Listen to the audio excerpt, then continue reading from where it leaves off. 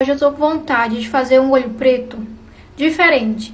Não sei se vai dar certo, mas vamos tentar. Pensei em fazer um olho preto com os brilhinhos rosa. Estou na dúvida, não sei se eu uso aqui esse gel delineador da Ruby Rose ou se eu uso esse aqui da Bruna Tavares. Esse aqui eu acho mais fácil de esfumar, só que eu nunca fiz com esse aqui. Vamos testar coisas novas. Vou fazer com o delineador em gel mesmo. Já tem produto aqui na tampinha, só vou colocar duas gotinhas de diluidor. E vamos lá, né? Ver se esse negócio vai dar certo. Vou aplicar um pouquinho aqui no meio.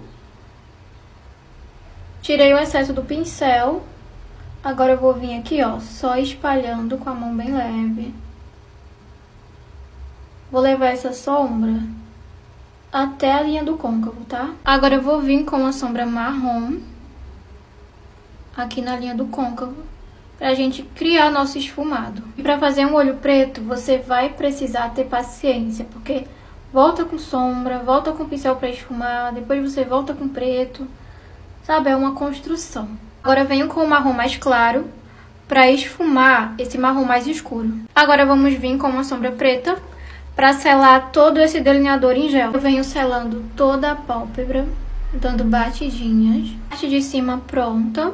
Agora vamos fazer a parte de baixo. Vou dar uma iluminada aqui no cantinho, só para dar um destaque. A parte de baixo não tem segredo, gente. É só você aplicar um lápis de olho na linha d'água, borrar um pouquinho para fora, depois vir com uma sombra marrom e fazer um esfumado. Meu truque de milhões é esfumar essa parte de baixo com contonete fica o mesmo efeito do pincel. E faço o recorte também aqui na lateral. E fica um efeito mais esfumado, que eu acho lindo. Feito isso, vamos pro brilhinho rosa. Vou usar esse aqui, essa sombra unitária, que também é iluminador da Melu. Ele tem um glitter bem fininho e sai muito fácil no dedo.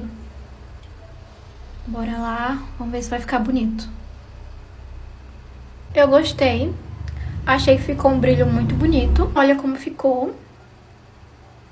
Gostei muito desse brilho. É mais uma maquiagem assim, festa, sabe? Balada, noite.